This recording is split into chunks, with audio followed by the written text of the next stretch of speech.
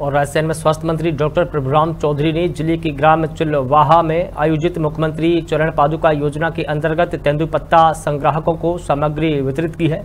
कार्यक्रम में स्वास्थ्य मंत्री डॉक्टर प्रभुराम चौधरी ने तेंदुपत्ता संग्राहकों को चरण पादुका पहनाकर साड़ी और पानी की बोतल प्रदान की है। इस मौके पर स्वास्थ्य मंत्री डॉक्टर प्रभुराम चौधरी ने कहा कि तेंदुपत्ता संग्राहक भाई बहन तेंदुपत्ता इकट्ठा करने के लिए सुबह जल्दी ही जंगलों में नंगे पाँव चले जाते हैं।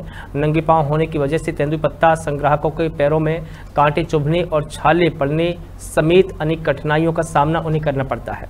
इन सभी कठिनाइयों को दूर करने के लिए मुख्यमंत्री शिवराज सिंह चौहान की ओर से मुख्यमंत्री चरण पादुका योजना शुरू की गई है, जिसके अंतर्गत तेंदुपत्ता संग्राहक परिवारों को जूते, चप्पल, साड़ियाँ, पानी की बोतल, छाता और अन्य आवश्यक सामग्री उपलब्ध करवाई जा रही है।